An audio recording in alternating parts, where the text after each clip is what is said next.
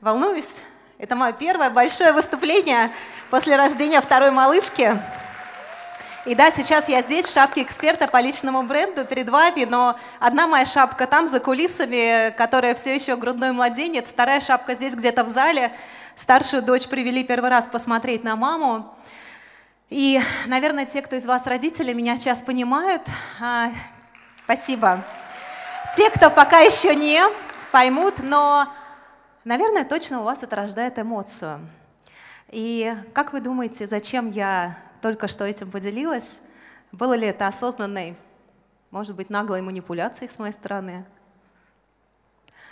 А может быть, я просто поделилась тем, что чувствую сейчас. Но как минимум вы что-то поймали. И та единица контента, которую вы получили за эти минуту 30, если я не ошибаюсь, это то, что вы почувствовали. Про эмоции, про влияние контента, про то, что делать, если вам самим не очень откликаются инструменты, механики, а, какие-то вещи, которые вы не принимаете сердцем, мы будем говорить с вами сегодня. И мне бы хотелось, чтобы из моего выступления вы сделали главный глобальный вывод, что личный бренд не равен одно только личное продвижение, что личный бренд не равен один только Инстаграм, хотя он исключительно важен и а, роль его нельзя недооценивать, что личный бренд это все-таки немного другое. И почему вам, как экспертам или их продюсерам, нужно заниматься ими здесь и сейчас. Вот что я хочу, чтобы вы не только поняли, но и почувствовали. Знаете, у меня еще и сложная сейчас роль вообще на этом мероприятии, потому что по законам драматургии я должна была бы вот прийти и такой бабой-ягой вот просто обнулить все, что вы услышали раньше. Сказать, что все это не работает, перечеркнуть красным крестом. Но я не буду этого делать, потому что все, что вы слышали, и та изумительная панель, которую мы только что с вами э, слушали и внимали, все это имеет место быть. Но что делать, если, например, вы э, продюсер онлайн-школы, которая работает э, с онлайн-курсами по anti-age, и ваша аудитория это 55+, они не читают Инстаграм и покупают совершенно иначе. Что делать, если основная ваша аудитория живет во ВКонтакте, и там вы себя чувствуете вольготно, уверенно и соразмерно, и Инстаграм в принципе непонятный для вас инструмент, и больше всего вас пугает сейчас, как находить время, когда нужно зарабатывать и строить школу, есть такое дело. Но есть и вещи, которые действительно наглядно, практично работают для того, чтобы с помощью вашего раскрученного имени, вашего э, личного бренда действительно продавать и привлекать больше. Это правда. И сейчас в России уникальная ситуация. У нас нет конкуренции человеков-брендов. Сегодня я вам это покажу. И а, я предлагаю вам на эти 25 минут, которые будет длиться мое выступление, максимально сосредоточиться и вложиться. Это будет уже вашей первой инвестицией в свой личный бренд, потому что он у вас уже есть. Хотите вы этого или нет. Вы уже человеки бренды, потому что находитесь здесь. Потому что это не просто взять билеты на эту конференцию, прилететь, сесть в это красное кресло, оторвать себя от прекрасных красот реки Мзымта и любования на горы, а могли бы уехать, могли бы общаться и нетворчиться. Нет, вы здесь, вы инвестируете это время. И самое главное, что я хочу, чтобы вы а, понимали об инвестиции в себя, вообще любая инвестиция начинается с этого, это кто вы и что, собственно, за продукт имени себя вы хотите продвигать. Очень простое упражнение. Да? Мы же договорились с вами использовать это время максимально качественно и эффективно. Пощупайте, пожалуйста, сейчас соседа справа и слева. Прям пощупайте, да? Ну, так, чтобы осознать себя в пространстве. Спасибо, так здорово, руки зашевелились. И сейчас на счет раз, два, три мы делаем очень простое и очень эффективное упражнение. Оно останется с вами, вы его увезете после конференции. Упражнение за 30 секунд – рассказать о себе. Кто вы, чем занимаетесь, а, какой у вас бизнес, ваш актив-пассив. Время пошло, 30, 29, только 30 секунд, 26, 25. Давай, давай, соседу справа и слева 20. А я считаю дальше, и уже 18. Давай, давай. И у нас остается финальный 10, 9, восемь, семь, три,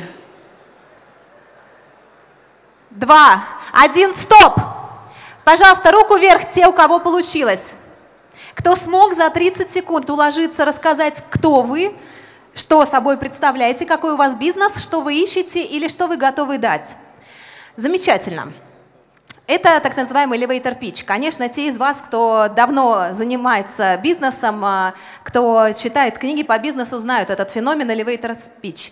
А, вы попадаете в лифт с миллионером, миллиардером, продюсером вашей будущей онлайн-школы. У вас всего 30 секунд на то, чтобы сказать, кто вы, что вам требуется и завязать контакт. Простая история. Однажды у меня была возможность сказать свой elevator pitch, ну, правда, за 20 секунд, президенту страны. Да, это же может быть не обязательно миллиардер или инвестор, это может быть известный политик, селебрити, шоумен. И вот так я, работая тогда в бизнес-школе Сколково, действительно одной ногой ступила в лифт, двери закрылись, ФСО ахнула, хотела блокировать весь лифт, но тем не менее у меня были эти три этажа с э, Медведевым, на тот момент президентом страны. Как вы думаете, воспользовалась ли я своим шансом? Да? Как вы думаете, что я ему предложила? Это было больше пяти лет назад. Я еще даже не думала о своей онлайн-школе. Я была корпоративным наемным менеджером. Я профукала эту возможность, друзья. Увы, и я не хочу, чтобы это случилось с вами. То, что мы сейчас э, сделали с вами только что, называется простым словом дескриптор. В личном бренде это встречается очень часто. И самая важная штука – это кто вы одним словом и как вы можете назвать себя. Вчера мы записывали интервью с Маш Сладар для моего канала «Код популярности», и я спросила ее, Маш, наблюдая за развитием твоего личного бренда, я тоже слежу, мониторю, делаю выводы, я заметила интересную вещь. А, пять лет назад ты говорила о том, что ты предприниматель, и это было первое в твоем дескрипторе. Два года назад ты поменяла на э, дескриптор «писатель», и так ты говорила о себе достаточно долго. А как ты называешь себя сейчас? Маша дала ответ, вы узнаете его из нашего интервью. Но это значит, что ваш дескриптор может меняться, и он может гулять от эксперт до вдохновитель, от писатель до автор с большой буквы. Делаем следующее упражнение. Может быть, кто-то заметит разницу. Видите, да? Найди 10 отличий. Да, исчезающий, появляющийся кружочек – нет, друзья, вы не смейтесь. У нас, правда, всего три секунды, чтобы проделать тот же самый фокус. Соседу справа и слева. Раз, два, три, поехали. Три, два, один, все. Ваше время вышло. Три секунды. Похлопайте, как это сложно, друзья. Похлопайте тем из вас э, себе, у кого это получилось. Три секунды – это наш лимит времени на то, чтобы удержать внимание современного читателя, подписчика, потенциального клиента. Три секунды – это то, что вы читаете и видите в фиде в Инстаграм. Три секунды – это то, что цепляет ваше внимание по законам нейропсихологии в YouTube-канале. И это всего три секунды для того, чтобы донести вашу главную мысль – кто вы. И прямо сейчас подумайте, а как хорошо у вас вообще с дескрипторами? Вот стоит за кулисами Константин Бышевой, потрясающий ведущий, аплодисменты ему. Рекламная пауза. Мой учитель, мой ментор, наставник. И на его примере, а также на примере а, Павла Гительмана, которого мы все полюбили за эти дни, правда? Ярослава Самойлова, которого мы слышали вчера.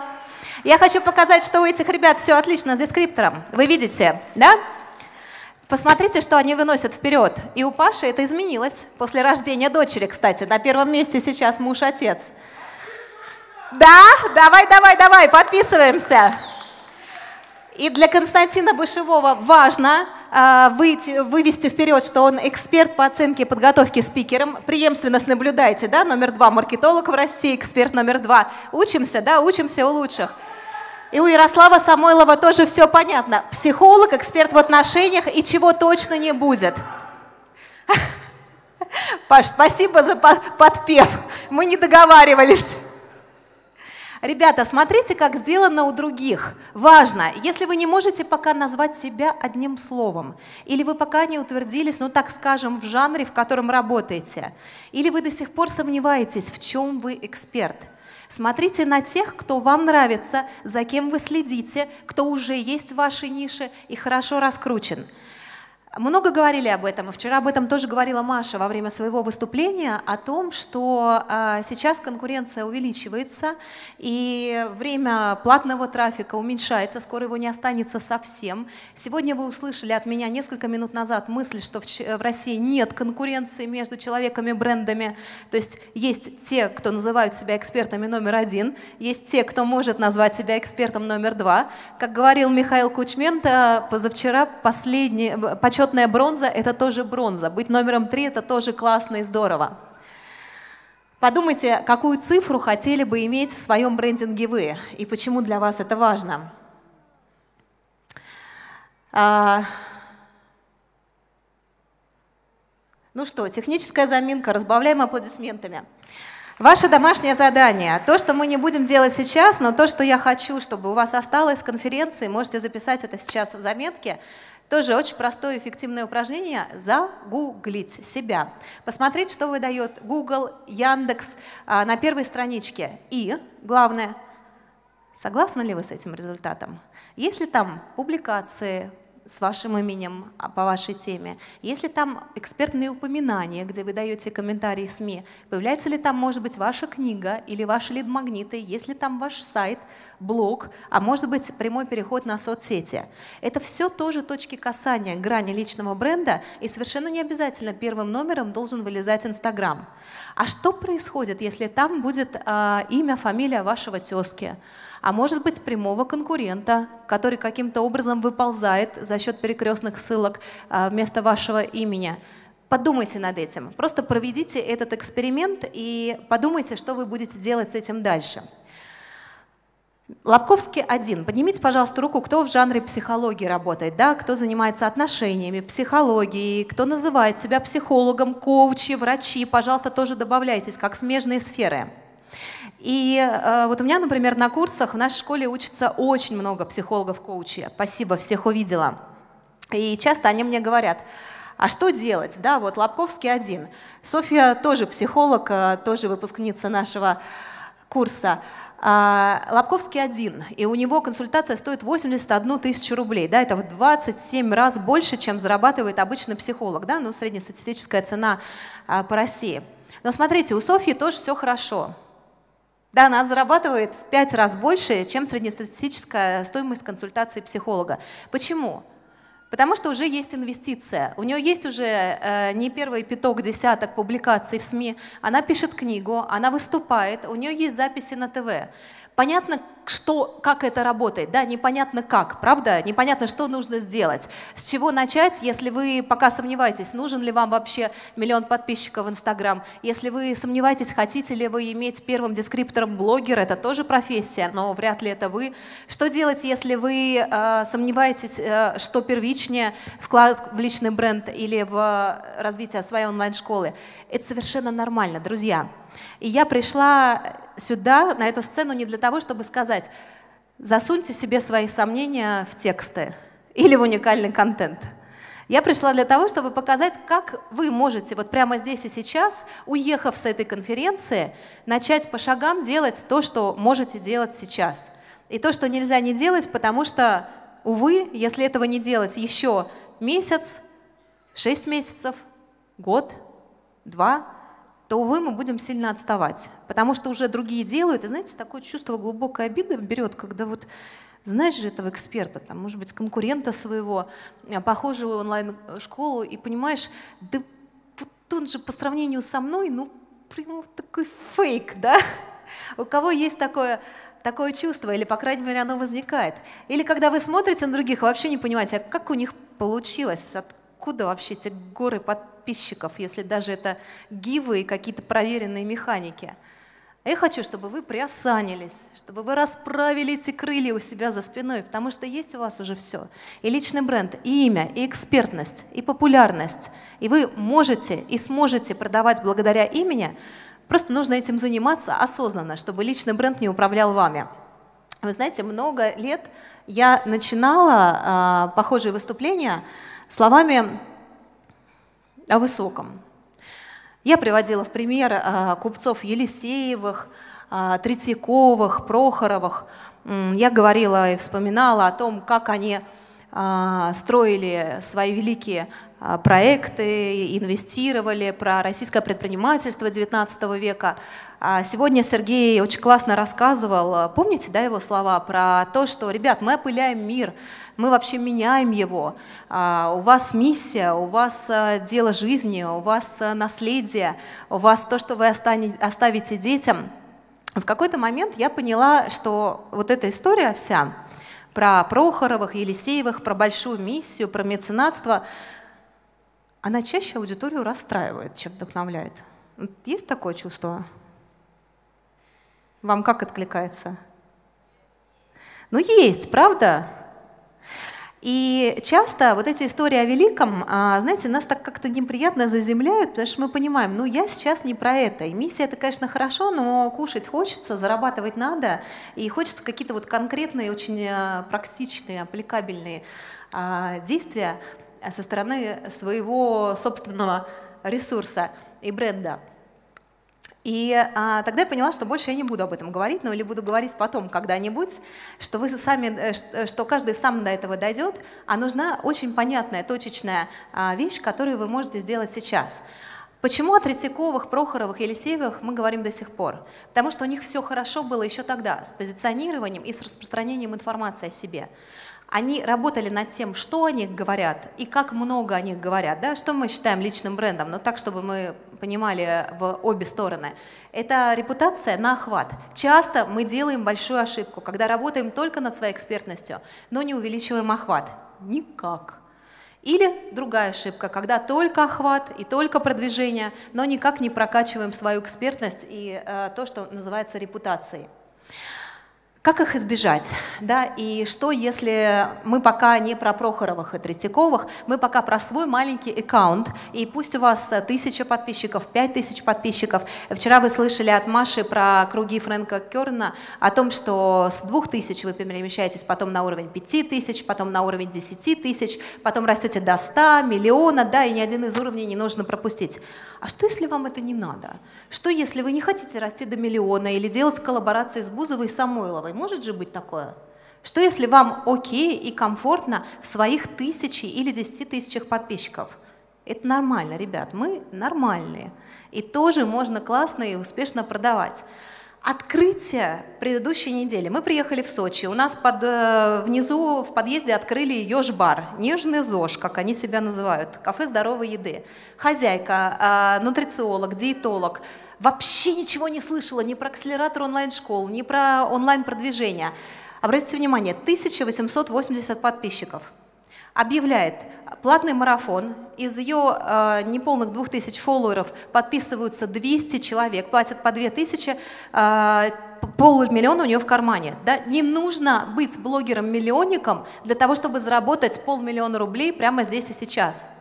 И это история, которая работает. Да? Это означает, что вы можете быть микроинфлюенсером для своих двух тысяч людей. Да? Я сейчас такие крамольные вещи говорю, да? то, что вы не слышали сейчас а, в предыдущие дни но тем не менее имеет свои доходы. И если вы по какой-то причине сейчас не готовы вкладывать в конкретно зарабатывание миллионов на подписчиках, то это тоже нормально. Вы можете сделать это другими способами. Давайте смотреть, какими.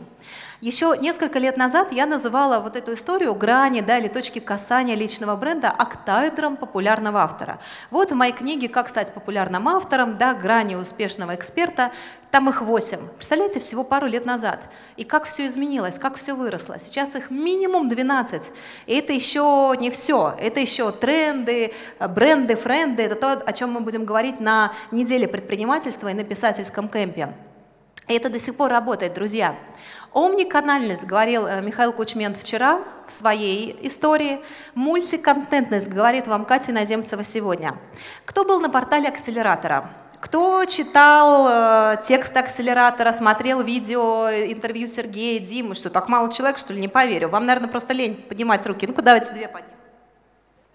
Ну, я просто хочу убедиться, что они у вас до сих пор работают, что, что, что, что вы не э, здесь, здесь и сейчас. Что они делают? Да, гениально. Портал. Выходит видео, транскрибируется, дальше размещается на сайт. Вы прям себе наматываете или помечаете, вы же будете это делать. Это рабочая стратегия контента, да, потому что на вопрос, откуда я выдумаю что-то еще, я вам отвечаю, а вот откуда. Вы это транскрибируете, делаете из этого статью, размещаете на сайт, а, переписываете ее чуть-чуть под издание, отправляете в СМИ, размещаете короткий feed в своем телеграм-канале и еще отправляете в email рассылку с соответствующими изменениями. Очень простая работа, редакторская. Вы можете для этого не обязательно даже брать сотрудника или ассистента, а бота. Очень много сейчас сервисов, специально не буду рекламировать, посмотрите сами, которые могут это за очень минимальные деньги делать за вас. Да, совершенно не нужно для этого набирать SMM щика, редактора, копирайтера, боже упаси, да, или становиться в эти туфли самому. А, email рассылка. Вы скажете мне, у, ну это какой-то old это до сих пор не работает. Я скажу вам, а как работают школы? Ольги Валяевой, женская психология, а, Дениса Терентьева, сыроедение, да, номер один. 80% они продают сейчас по email рассылке. Почему? Потому что их аудитория живет там. И это может быть суровая правда, потому что ваша аудитория тоже может жить в том канале, в котором вы а, ну, может быть, даже не ожидали ее увидеть. В каждом из них живет разная аудитория. Блог, YouTube-канал. Почему сейчас и Петя Осипов, и Маша Солодар заводят и перезаводят, снова возобновляют свой блог, свой YouTube-канал? Почему такой же YouTube-канал начала Катя Иноземцева год назад? Потому что это выгодно, потому что в YouTube сейчас нужно инвестировать, потому что там живет и водится та аудитория, которая не заходила туда раньше. То же самое можно сказать об мессенджерах. Вы возражаете мне, ну окей, Telegram снова закроют, будут еще какие-то э, санкции. Я скажу вам, что пока там эта аудитория есть, даже если это немного, даже если у вас несколько сотен подписчиков в вашем канале Telegram, несколько тысяч подписчиков, может быть десяток тысяч, вы все равно можете там продавать, потому что есть люди, которые читают только Telegram.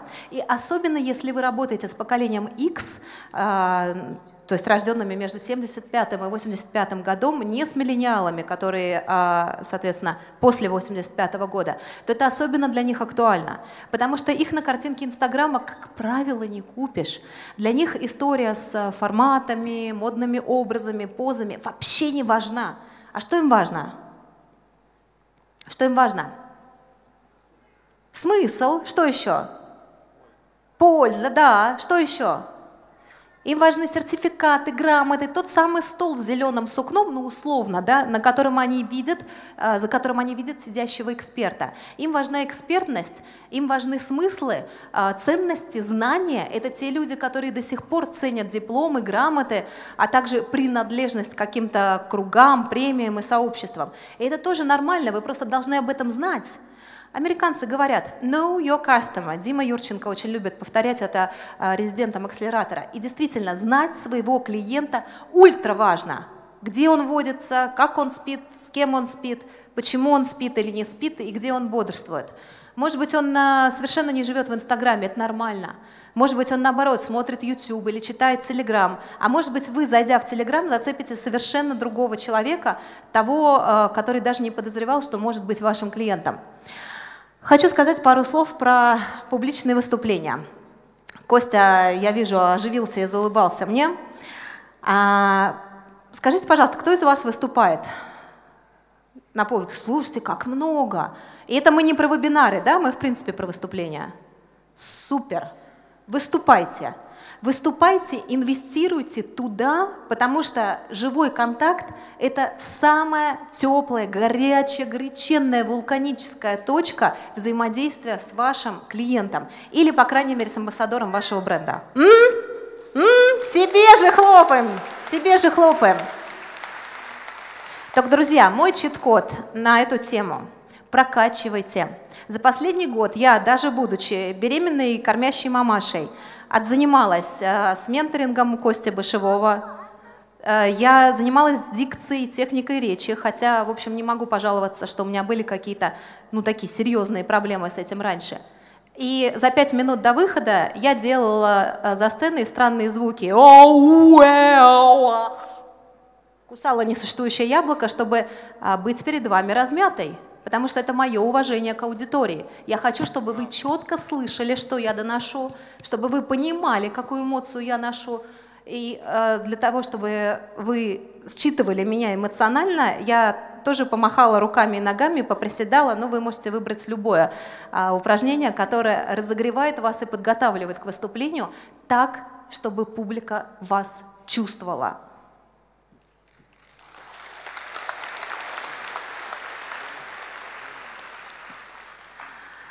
Собственные мероприятия. Аксель потратил чертову уйму денег, времени, ресурсов, нервов вот этих замечательных людей, которые сейчас э, вот так вот в бурашках стоят и слушают меня. Да-да-да-да-да-да-да. На то, чтобы мы здесь сегодня встретились с вами. Как вы думаете, они сумасшедшие? Юрченко, Капустин, это я про вас говорю. Им э, делать нечего со своим основным продуктом. Им заняться нечем, может быть. А, почему они все это вешают на себя? А, эго они, что ли, свое тешат? Э, думаю, что нет, э, имея опыт выступления перед 30-тысячной аудиторией в Олимпийском.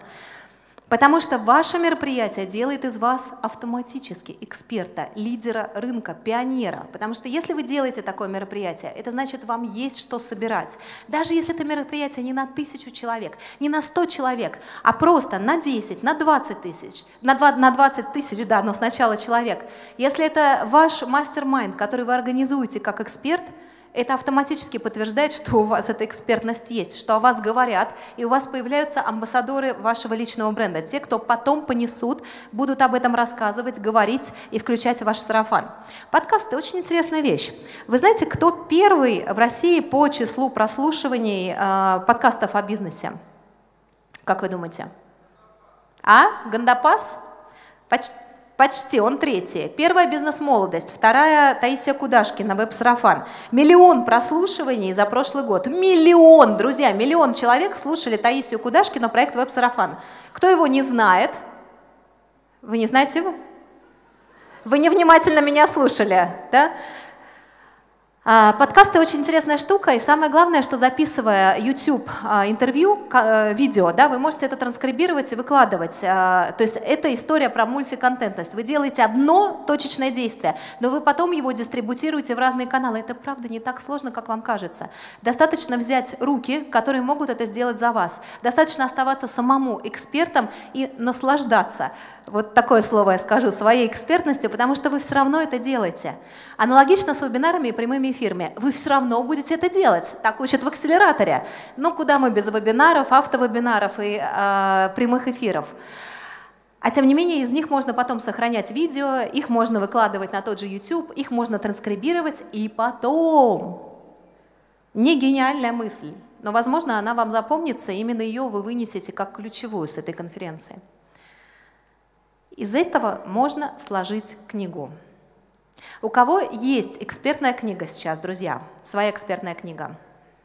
Увы, я вижу не так много рук. Будучи самой большой сейчас площадкой в России, мы в Republicity School выпускаем больше всего сейчас э, экспертных книг. Да, к нам приходят эксперты, человеки-бренды, которые пишут книгу с нами и выпускают ее и становятся бестселлерами. Вот на писательском кемпе вы увидите, там прямо у нас будет ярмарка, выставка авторов бестселлеров. И я говорю, друзья, книгу сейчас написать очень легко, гораздо проще, легче, дешевле, быстрее, чем раньше. Вы можете сложить из того контента, который уже делаете, транскрибировать это и путем нехитрых, да, помните, брюки превращаются в шорты, брюки превращаются в шорты. Без заедания молнии сделать достаточно быстро. А, брюки превратятся в шорты, и реально написать книгу с 90 дней, как пишут с нами, сделать ее профессионально, четко, слаженно. И я вам скажу, что очень много экспертов сейчас вообще не делают это ручкой. У них вот в прямом смысле рука ручку не держит.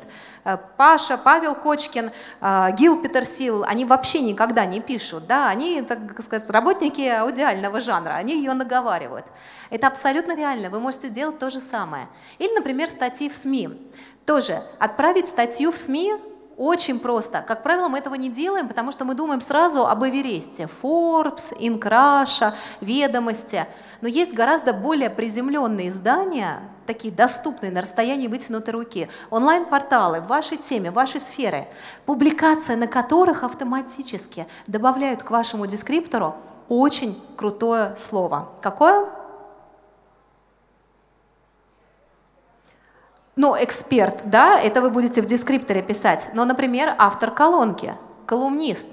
или публикуется в таких-то изданиях, или автор таких-то публикаций. Это круто. Вот куда иксы будут, на что иксы будут обращать внимание. Вот почему они будут вас э, покупать. Потому что одно дело просто психолог, одно дело психолог, который публикуется в СМИ и получающий оттуда клиентов, как та София Сулим, про которую я рассказывала. История про мультиконтентность работает еще и потому, что потом она превращается в классный снежный ком, который действительно работает на вас. Давайте пойдем в конкретные инструменты, чтобы они остались у вас.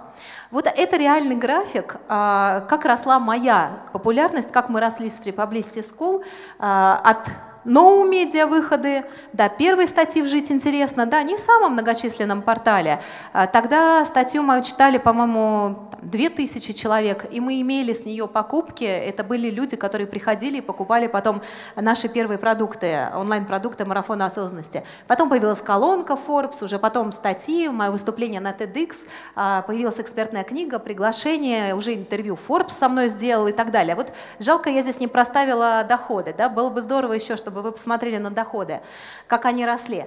И а, у вас появляется одна точка касания, к вам приходят дальше – вы скажете мне, ну о чем я сейчас могу писать? Да, у меня есть своя экспертность, но тоже непонятно. Да, если я, может быть, ее только наращиваю. Ко мне вчера э, подходила участница конференции и говорила, я вот пока что только еще учусь, получаю свой диплом, и ну вот как-то я себя некомфортно чувствую в этой шкуре. Я уже вроде как могу говорить, но пока еще не хочу, вот не дает мне вот этот вот внутренний мой синдром самозванки, мой внутренний таракан. Я говорю ей, окей, ну делись с ней из шапки эксперта сейчас, не надо называть себя вселенским гуру, ты можешь просто рассказывать о теме, которая тебя лично волнует, из позиции активиста, писать о своих находках, постепенно добираясь до э, авторитета, и потом уже самой веря в свой авторитет и обладая тем контентом, экспертным контентом, который ты наработала здесь и сейчас. Смотрите, история про публичность и открытость. Кого пугает, что нужно вот прям снять с себя платье, верхнюю юбку и сделать душевный стриптиз? Кого это пугает? Да, вот с ростом популярности, публичности. Что, трех человек только? А, отцы-основатели, у вас э, потрясающая аудитория. Эта аудитория ничего не боится. Артемий Лебедев долго э, скрывал, что стал отцом в десятый раз. А Ирена Понарошко скрывала беременность 8 месяцев до своего публичного выхода в шоу Урганта.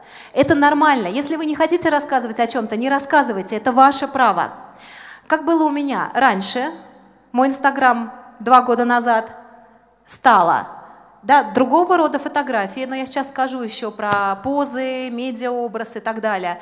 А, другого рода люди, с которыми я появляюсь, да, потому что причастность к сильному бренду, да, это, кстати, великий Чалдини, который первый об этом сказал, да, автор психологии влияния, играет. И э, важно, какой медиаобраз вы выбираете. Вот Падре, да, ну вот здесь можно было найти другую фотографию, где этот чувак лысый. Но, в принципе, этот образ действительно запоминаем. Вы можете с ним соглашаться, вы можете не соглашаться, вы можете его критиковать. Но, тем не менее, этот образ в том числе приносит лиды, подписки и людей, которые следят за этим странным чуваком. Очень классная штука, тоже фотографируйте, записывайте. Это автосообщение в директе. Когда ко мне добавляется новый подписчик, они получают вот такое сообщение. Более того, мы добавляем туда лид-магнит, который они получают. И если вы добавитесь ко мне ей наземка, то вы увидите, как эта механика работает. Вы можете ее использовать и отправлять, ну, есть там лимит сообщений, но он достаточно высокий, несколько сотен. Вот эти сервисы дают возможность ее попробовать и делать, прям воспользуйтесь, сделайте этот первый шаг сразу после конференции, у вас уже начнется рост, у вас уже начнется конкретика, вовлечение и во взаимодействии с вашими людьми. Понятно, что потом вы можете при росте вашего отдела продаж, да, как рассказывал Алексей Стрельцов,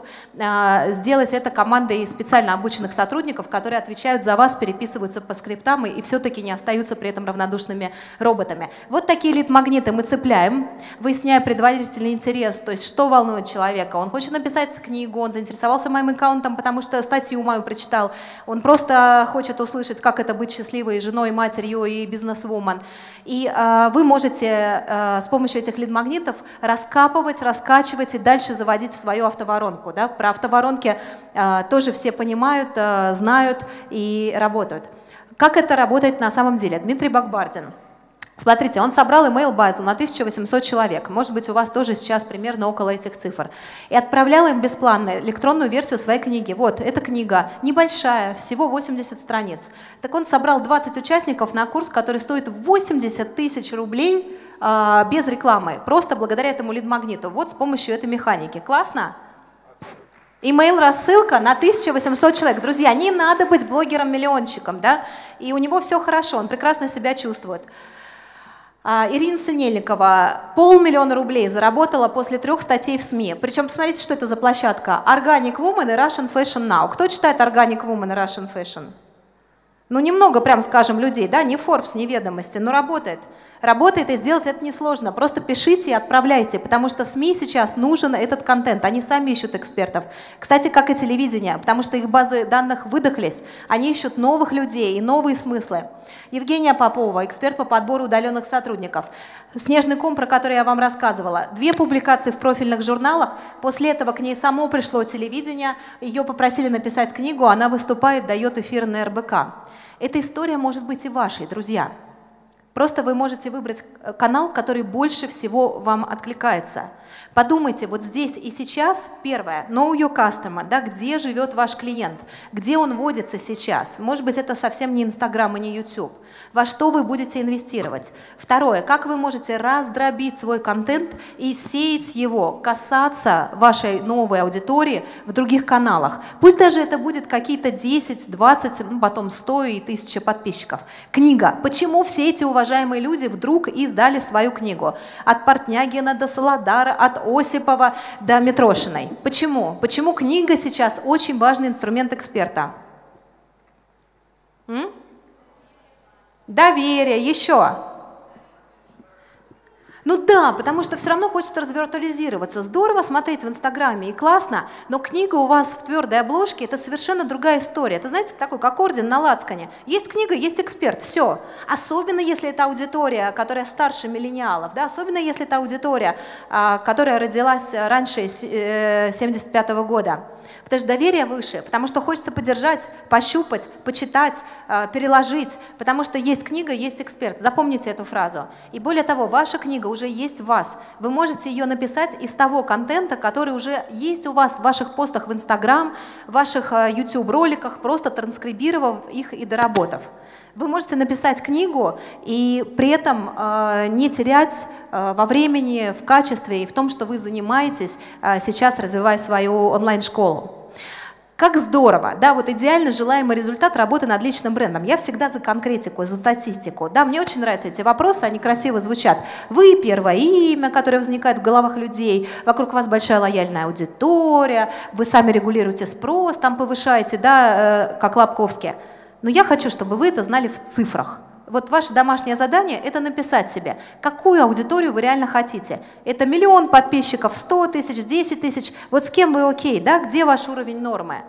Сколько вы хотите зарабатывать благодаря раскрученному имени или благодаря платному трафику? Вот прям пропишите себе эти цифры. Это очень полезное упражнение.